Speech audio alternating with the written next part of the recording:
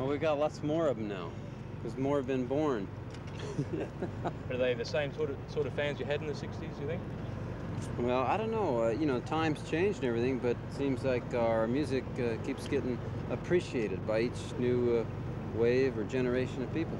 I suppose millions of people must have uh, regarded you uh, as uh, cult rock figures in the 60s. Do you think you've maintained that image? apparently so. We're here on the most, the biggest tour ever to hit Australia, they tell me. So I guess we've maintained something, haven't we? there have been many imitators of uh, Beach Boys type music. Uh, do these imitators annoy you or do you feel flattered? It's good publicity. It's fantastic. More power to them. Reflective glory.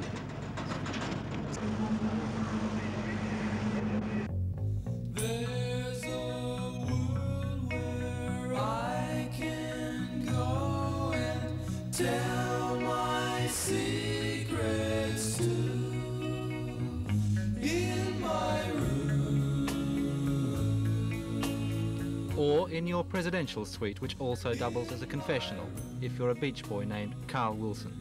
While blame for last night's concert has been ascribed variously to food poisoning, drink, drugs, or whatever, Carl Wilson's opening gambit today can be summed up in two words mea culpa, or it's all my fault.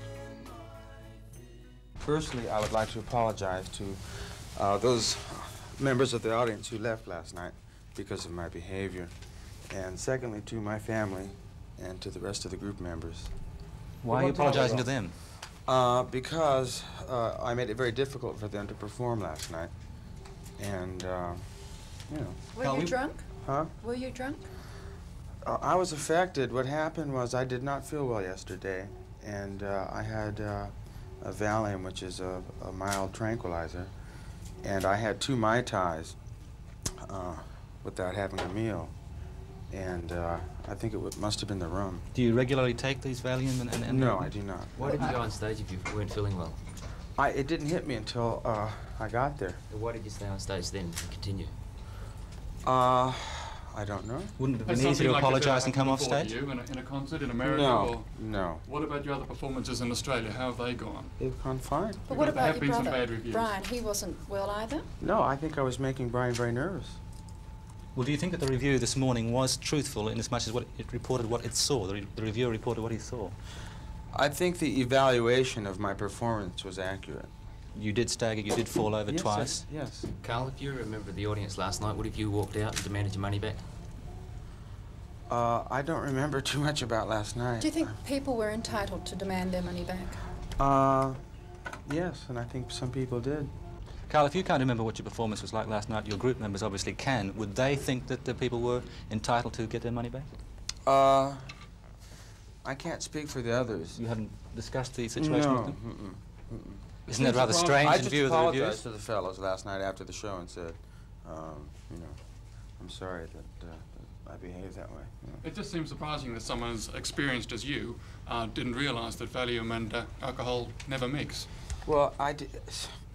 Yeah, I mean, it, it's, it's never happened to me before, and uh, I was feeling fine. I didn't really feel any, any change until we got there. Do you normally drink before going on for a performance? Mm, I have a beer, maybe. What about during the performance? Mm, sometimes I have some beer during the performance.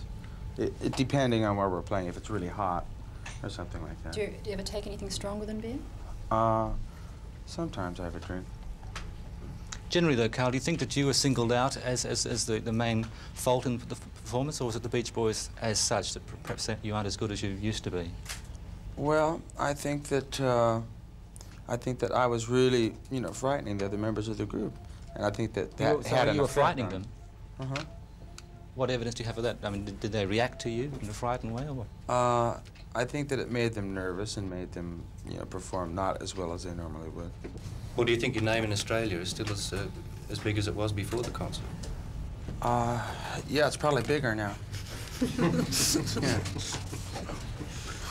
Truth.